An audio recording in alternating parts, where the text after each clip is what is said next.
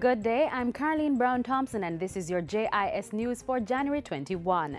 Scores of jobs are expected to be created with the establishment of a new recycling company called Jamaica Recycles. With over 120 tons of solid waste entering the Riverton landfill on a daily basis, the company is expected to generate 100,000 tons of recyclable material annually. Prime Minister Portia Simpson Miller says the initiative will not only help to keep the environment clean, but will also act as a catalyst for new investments. Recycling plastic and paper provides us with a means of earning foreign exchange while providing jobs.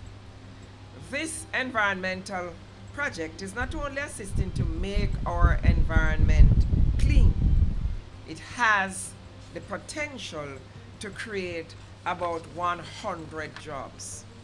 Jamaica Recycles, which currently processes waste paper and plastic, plans to expand production to include electronic equipment, industrial plastic, glass and metals. The government is asserting that the national sports policy will be multidimensional as it caters to all sporting disciplines being pursued by Jamaicans. Minister with responsibility for sport, Natalie Neita Headley, says the policy, which is now a white paper before cabinet, will also be impartial as it won't discriminate against race, social class, gender or disability. The minister was speaking at a media briefing for the 18 athletes who will be participating in the 2013 Special Olympics World Winter Games in South Korea.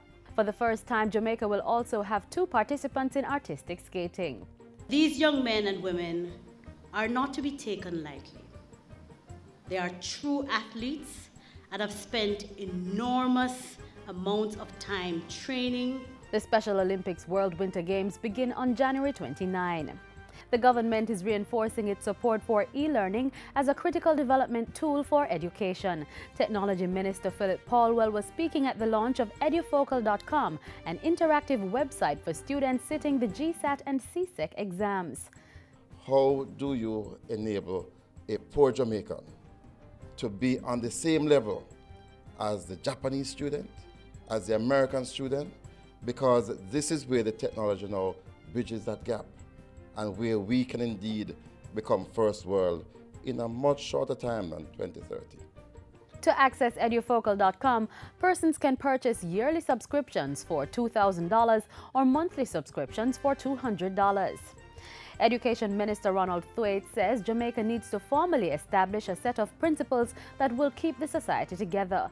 The minister, who was addressing the Kiwanis Club of North St. Andrew, said moral values are important to the development of the country. What we need to do is to determine a set of, of principles, a set of, of, of canons about ourselves as Jamaican people that is going to unite us and, and, and dispose us towards those things, difficult things that we must do, that we can do, in order that we achieve the goals of development of sufficiency, not for some, but for all of our people.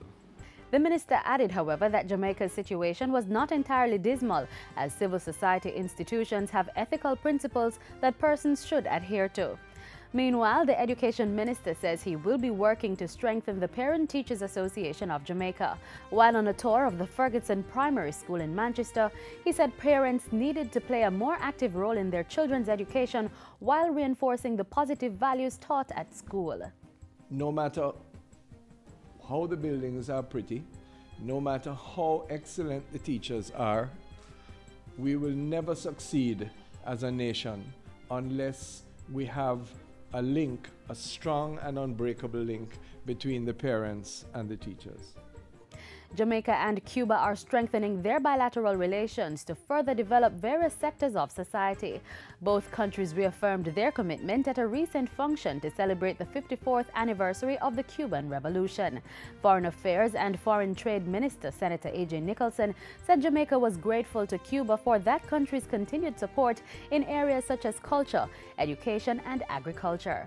Many developing countries including within CARICOM and the wider Latin American region, can and do testify to the wide ranging benefits of Cuba's invaluable assistance and cooperation more than 200 Jamaicans are currently studying in Cuba, while over 200 Cuban specialists, mainly in the fields of health and education, are currently working in Jamaica.